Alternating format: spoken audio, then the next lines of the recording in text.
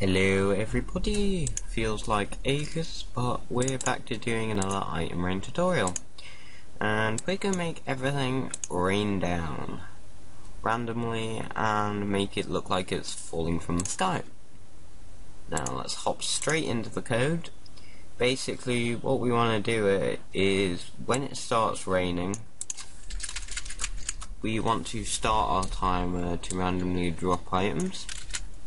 Uh, start timer. Commenting is always good and we'll stop timer when it stops raining.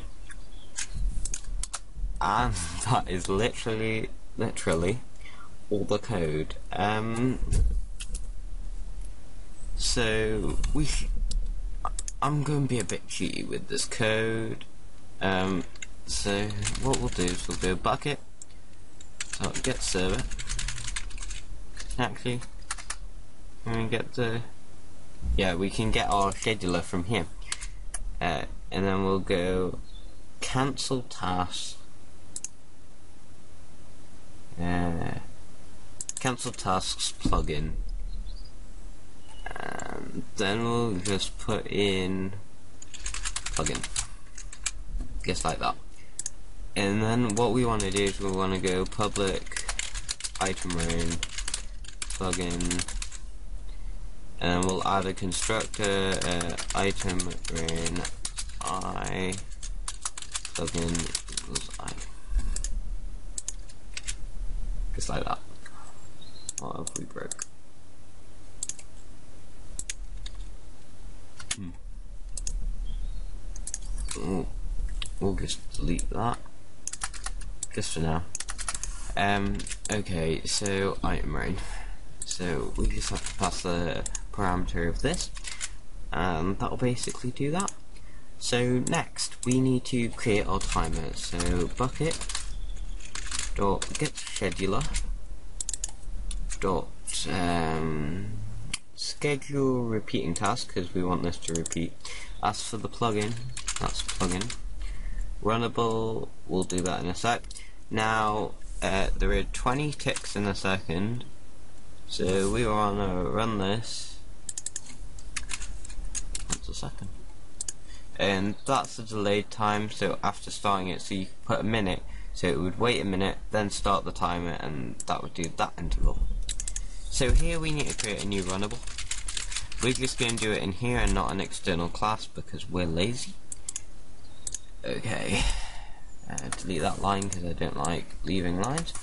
Okay, in here what we want to do is it's raining in the world, so if we go event.get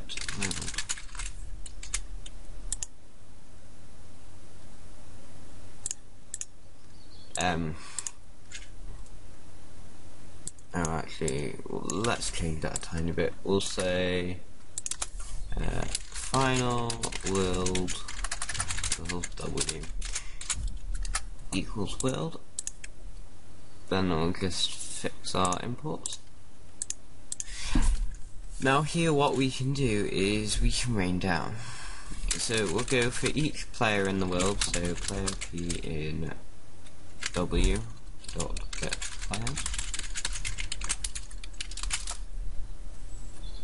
this is just going to be some more testing code until we randomly do this.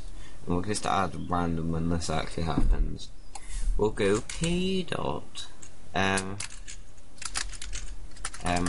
dot well let's create a variable called location l equal p dot get location. Now what we want to do is we want to go world drop naturally l and then our item stack is going to be new item stack random random material and that'll create our random material class just like that now this can land on where our feet are but if we add make it 10 in the high this is going to be so laggy. But who cares? Okay, let's just, uh, oops, what am I doing? been a long time since I've done this. Uh, go item rain. Let's change that to item rain. Just like that. Now we'll start server and see if it explodes. I have got quite a few plugins on this server. Um, going. I just game in myself. Um, break out of here. Uh, it's quite horrible in this world. Uh, slime. Why do you have to be slimy? Oh, fuck off. Uh, difficulty zero. Time set zero. Okay. So, once we've once we've got rid of everything annoying, we can go toggle down.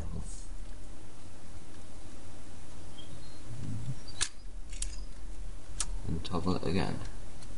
Oh god.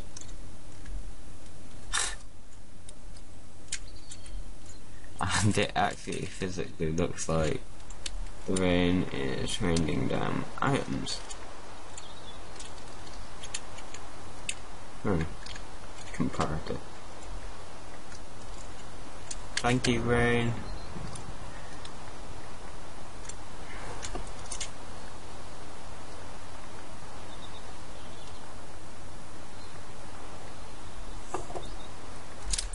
Okay, so I'll just disconnect before I kill myself because of the sound.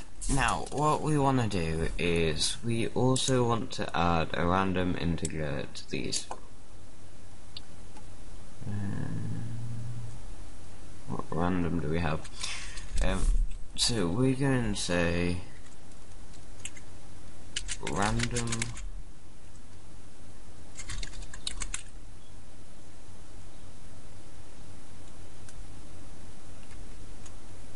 if we say 11 it's between 0 if we say 10 plus 1 in brackets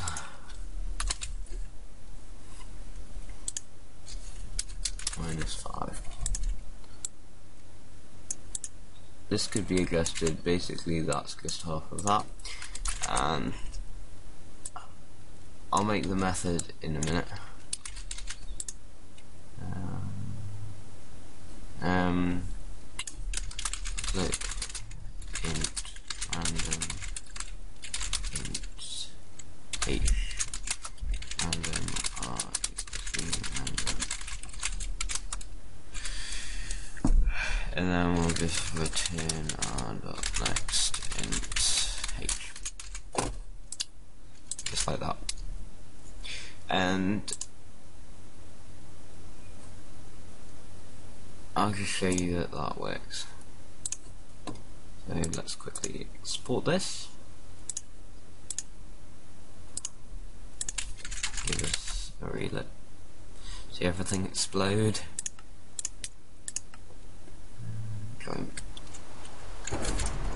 Okay, so toggle down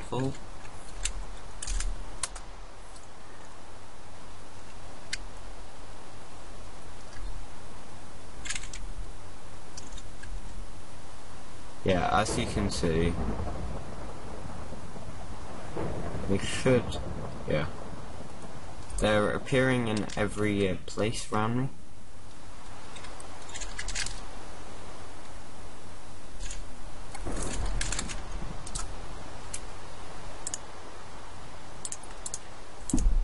So, um, I think this is probably going to be the second last tutorial, because basically all you need to add here is if random between I don't know this happens every second so we want it only to happen every possible chance of 10 minutes so uh, 60 times 10 is 600. So we'll say random 1 in, I don't know, 600. Uh, then the chances of finding it, so we'll say 400 equals equals. Uh, if it doesn't equal, I don't know, let's pick number 100, then and that's that. Thank you for watching this tutorial. I hope you enjoyed it as much as I did.